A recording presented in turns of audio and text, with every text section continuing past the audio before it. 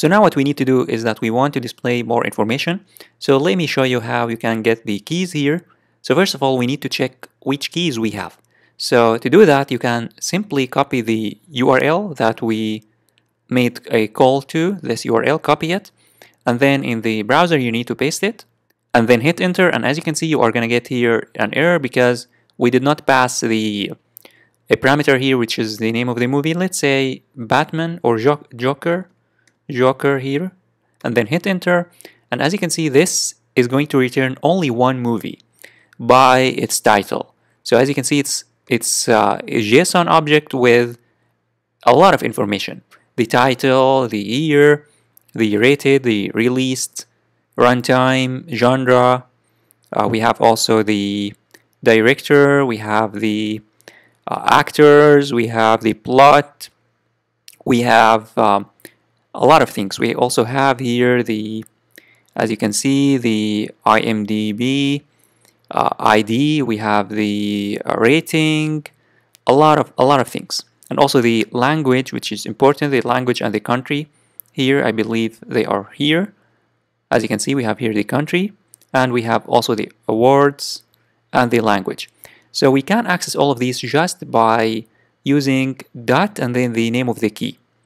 As we have done here already, we have done in the single underscore movie, movie dot title, and we, we also have the movie dot year.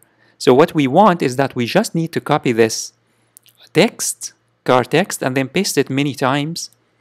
And then I'm going to paste it like six or seven times or even more, depending upon the number, uh, the keys that you want to display its uh, information or its uh, strings.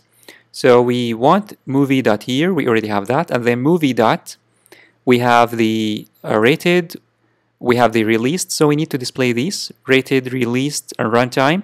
So I'm going to start with the released with a capital R, released, release, released, and make sure that the spelling is correct. We have also the runtime and genre. So I'm going to say here runtime, runtime. We also have here genre. Uh, we need also the actors and the the plot. So we need these two. I think the plot is better to be displayed first. I'm going to say here plot. And then here released. And then actors. And we also have the language. Language. We have also the country. Country. And we also have the image. We already have the image. We have the runtime. We got the runtime. And also you can get the here. We have the uh, IMDb rating. You can copy this. And here we have the IMDb rating. And I think we are done.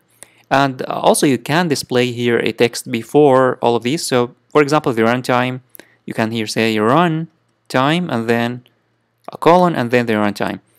But some some uh, some of these keys are very very evident and the user uh, would be able to figure out what they are. For example, the actors, the language, it's very uh, clear that this is the language. But you can say here language and then colon country you can also say here country country and then colon and you can say here rating if you wish. We say your rating and now if you save everything and head on over back to the browser to test let me now refresh and see what's gonna happen. So if you refresh as you can see it looks much much better. We have the title we have the year we have the storyline. I think we need here to display the plot or storyline. I'm gonna say here storyline and runtime and then released released. And um, here here here. And we have here actors actors. And save and now let me refresh one more time to show you that it's gonna look even much better. Here we have the storyline the runtime the release date the actors the language, the country, the rating, and you aren't limited to these um, uh, these fields. You can get even more.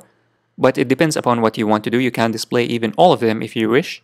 If you don't, uh, and you are satisfied with this, then it's great. You can just leave it uh, like this, or you can even get more. You can even get the awards here. For example, here you can say, you can copy this, and then paste the uh, this one, and then say awards, and here awards. Now, if you save, you will have the awards here. As you can see, nominated for uh, one Oscar. So it worked. It worked. And now, if you go back to the home, let me go to the home page. Let me go to the home page and refresh. And let's click on another movie just to make sure that it's working. For example, this one. Um, this one, 1992. Let me click on checkout.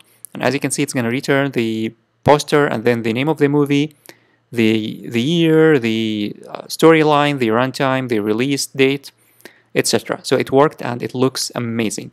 And it gives the user a lot of information about the, the movie that he or she is interested in.